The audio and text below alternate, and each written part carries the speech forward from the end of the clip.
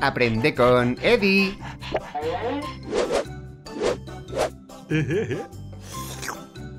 ¡Ey, ey, ey, Eddie! ¿Qué haces? Vale que te quieras refrescar, pero el experimento de nieve de colores que hicimos no se puede comer. Si quieres, puedo enseñarte una receta muy parecida a la nieve, pero que podrás tomar para refrescarte. Se trata de... granizados.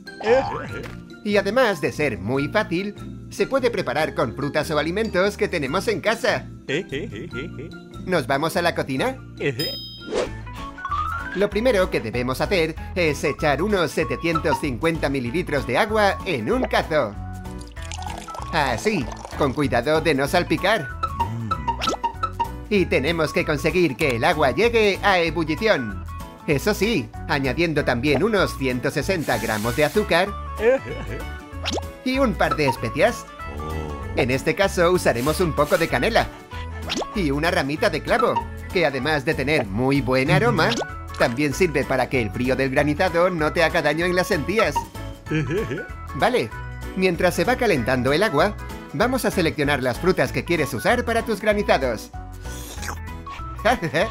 Pero no son para comerlas ahora, ¿eh? Veamos qué tenemos en la nevera. ¡Genial! ¿Qué te parece si hacemos granizados de distintos sabores y colores? pues vamos a hacer uno de fresa, uno de mora y uno de kiwi.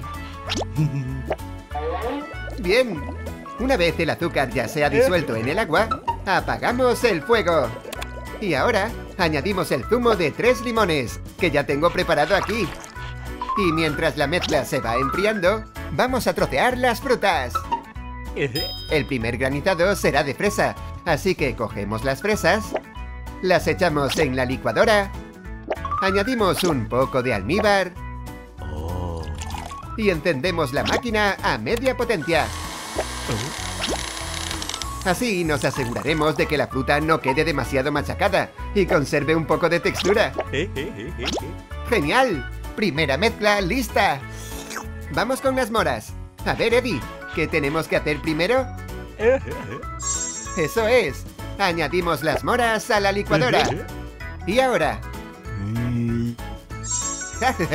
Eso va más tarde, Eddie.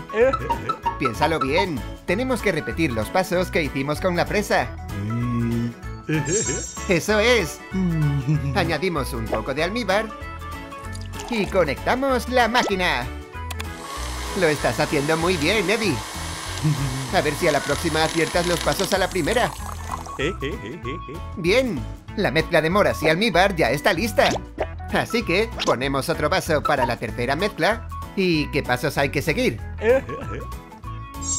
Eso es, Eddie. Echamos los kiwis en la licuadora. Muy bien. Añadimos un poco de almíbar. ¡Genial, Eddie! Ya le has pillado el truco. Bien, ya tenemos la última fruta preparada.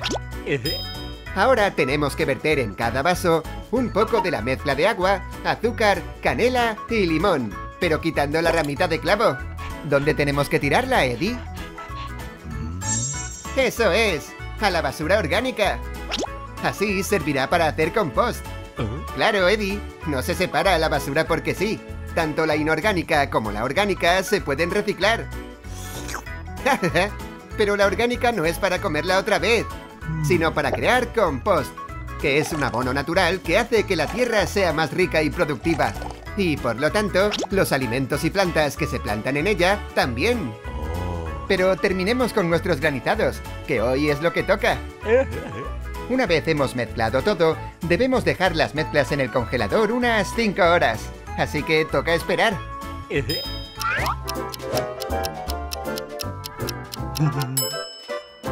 ¿Lo ves? Una vez fuera del congelador, si esperamos un poco y machacamos todo con el tenedor o una batidora, conseguimos el resultado final de nuestros granizados. ¿Cuál quieres tú? Pues yo me quedo este. Y el último lo compartimos luego. a disfrutar, Eddie. Te lo mereces después de haber aprendido a hacer granizados de fruta.